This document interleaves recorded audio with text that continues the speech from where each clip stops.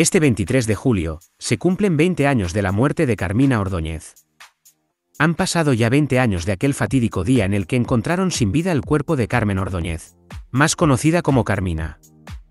A primera hora de la mañana, un 23 de julio de 2004, la crónica social perdió a una de sus grandes reinas, y a pesar de que han pasado dos décadas, su nombre sigue sonando con fuerza y las incógnitas siguen sobrevolando en el caso. Por aquel entonces, Semana pudo ser testigo de las últimas fotografías de Carmina, tan solo cuatro días antes de morir. Unas imágenes que se publicaron por aquel entonces y que, en el 20 aniversario de su muerte, recuperamos. Hace ya 20 años, Semana tuvo acceso a las últimas fotografías de Carmina Ordóñez con vida. Unas instantáneas que fueron tomadas tan solo cuatro días antes de que su cuerpo fuera encontrado sin vida. Estas imágenes tuvieron lugar en Tánger, una de sus ciudades favoritas. Carmina eligió la ciudad marroquí para tomarse unas mini vacaciones y descansar antes de continuar con sus compromisos en televisión. Sin embargo, esto nunca llegó a ocurrir. Por aquel entonces, este medio pudo acceder a todos los datos de esa escapada de Carmina, que nada hacía imaginar que fuera a ser la última. En aquel número, Aseguramos que una de las reinas de la crónica social eligió un coqueto hotel situado en plena costa de Tánger. Para ella, este país fue su gran refugio, cuando quería pasar desapercibida de los ojos más indiscretos, donde encontraba un remanso de paz y cuando necesitaba aislarse de la opinión pública.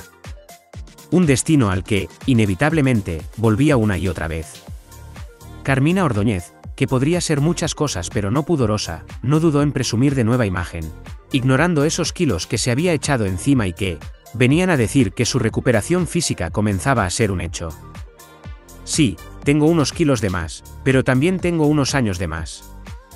Cumplo 49 y si peso 5 o 6 kilos de más, no me preocupa nada. Me gusta cuidarme, camino, ando, nado, empiezo a darme masajes ahora, pero no renuncio a la cervecita, ni a merendar churros con chocolate. Me gusta comer y no privarme. No pienso hacer régimen, confesaba a esta revista unos meses antes de su muerte. Sin embargo, esa recuperación física de la que hablamos no la pudo completar al 100%, tras ese trágico día que gran parte de este país se levantó con la triste noticia. Un país conmocionado por la muerte de Carmina, que 20 años después sigue siendo noticia. Tal y como se puede ver en las líneas que se publicaron en semana hace ya dos décadas, pudimos descubrir la rutina de Carmen Ordóñez durante sus vacaciones. La tertuliana de televisión aprovechaba gran parte de la mañana en disfrutar de la piscina del hotel, tendida en una hamaca tomando el sol, dándose refrescantes baños y dedicando algunos ratos a la lectura. Después llegaba el momento del aperitivo, una cervecita y algo para picar.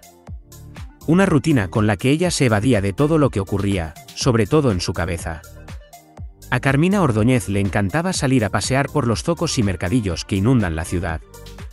Estas imágenes, que fueron tomadas el 19 de julio de 2004, se puede apreciar cómo la querida Carmen solía adoptar el estilo marroquí cuando visitaba el país, intentando así pasar desapercibida de los ojos indiscretos.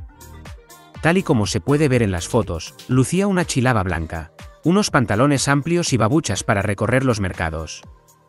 Aquel día, el día que se tomaron las últimas fotos de Carmina Ordóñez, se paró en aquellos puestos de verduras y especias. Era una gran amante del buen comer, pero también de cocinar.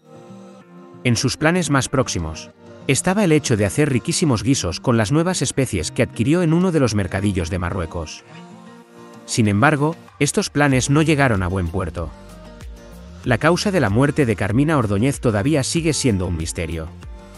¿Qué ocurrió la fatídica noche que perdió la vida? Fue en la noche del 22 al 23 de julio de 2004 cuando falleció Carmina Ordóñez. Su cuerpo fue encontrado sin vida en la mañana de aquel 23. A sus 49 años, el cuerpo fue hallado sin vida en la bañera de su domicilio con un fortísimo golpe en la cabeza.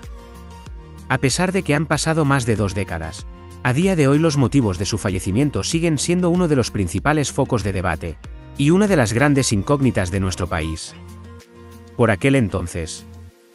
Como siempre podéis dejar vuestras opiniones en la caja de comentarios, Recuerda suscribirte si todavía no lo estás, activando la campanita para no perderte más vídeos como este. Y daros las gracias por vuestro tiempo y apoyo.